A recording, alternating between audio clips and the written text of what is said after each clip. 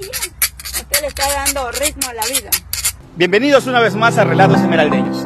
Es una de las provincias con mayor desigualdad social, inseguridad, deserción escolar, desempleo y además convive con una frontera conflictiva. Pero Manuel González quiere retratar otra Esmeraldas. Mostrar las historias bien contadas de lo que están haciendo grupos vulnerables. Mujeres, personas con discapacidad, afros y chachi, sobre todo de la línea de frontera. ¿Cómo hacen ellas para que sus hijos, por ejemplo, no sean pandilleros, sino que logren terminar su bachillerato, logren ir a la universidad, sí, logren ser el orgullo del pueblo. Ese tipo de historias son las que cuento. Vengo atendiendo partos desde la edad de 16 años. Tomamos la decisión 12 mujeres en juntarnos y poder hacer algo a favor social de la comunidad. Mi mayor inspiración era ser arquitecta. Los personajes de sus historias tienen esperanza de que es posible una sociedad inclusiva, alegre y que demuestra que en el día a día todavía hay mucho que luchar para hacer de un barrio o cantón un mejor lugar para vivir.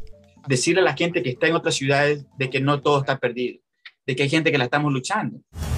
Me dicen Fórmula 1, Rápido y Furioso, Pata Brava, La Apurada, La Peleona, La Pirata. El proyecto nació en el 2021 y se llama Relatos Esmeraldeños. Obviamente, la reacción natural de las personas que le comenté, eso no va a funcionar, porque lo que funciona es el morbo, pues Manolo, aquí hay bastante sangre, hay bastante robo, eso es lo que vende, tú sabes, ponte pila, pues tú eres pila.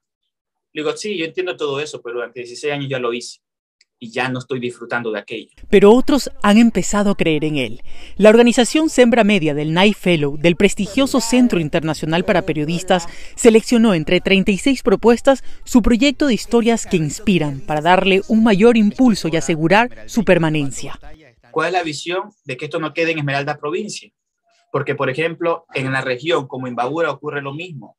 Entonces digo, voy a contar esa historia. Hasta ahora Manuel ha retratado a la comunidad que todavía habla latín, a los cuidadores de uno de los manglares más grandes del mundo, los marimberos, la partera con más de 100 hijos, los deportistas que sueñan con medallas, y a su madre, una conserje de escuela que todos los años en diciembre dona su sueldo para los niños menos favorecidos.